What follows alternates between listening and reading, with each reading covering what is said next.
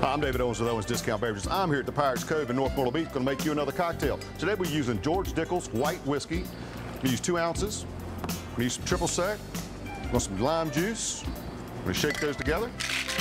I'm going to strain those into our sugar rim glass with salt.